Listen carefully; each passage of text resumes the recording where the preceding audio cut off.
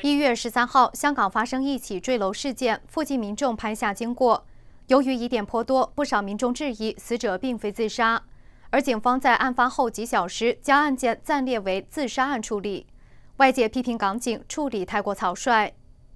香港公民党主席资深大律师梁家杰认为，警察在案发后几个小时就在脸书发贴文表示案件没有可疑，令人觉得儿戏。有啲人喺網上咪講嘅。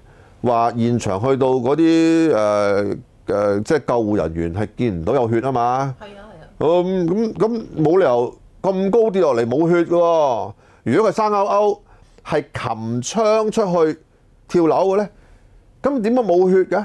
即係點解冇冇即係嗰啲人話又冇腦漿又冇血血啊嘛？咁譬如呢啲嘢，有人提出咗呢啲疑問啦。咁警察喺 Facebook 度冇處理嘅喎。他认为警察应该公开已经取得的所有证据，解释所有疑点，才能取信于港人。香港时事评论员潘东凯认为，死者坠楼的动作太不自然，明显不是自杀。当佢个身体跌落嗰度，然后再反弹跌落街咧，呢一下咧系完全好似一个布公仔嘅。嗯，即系话呢一个人喺佢 hit 落去嗰个石膊嘅时候，佢手脚都唔会活动，同埋个人冇知觉。咁即系话。誒，如果一個人冇知覺，都喺個窗度可以走咗出嚟，即係俾人哋推出嚟啦。咁咁，如果唔係謀殺，係咩呢？他認為警察在這起案件表現失職。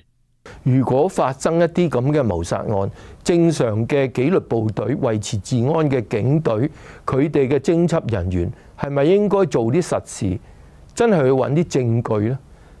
以其係喺嗰個社交媒體同人嗌交，所以呢樣嘢真係。我觉得佢系失职嘅。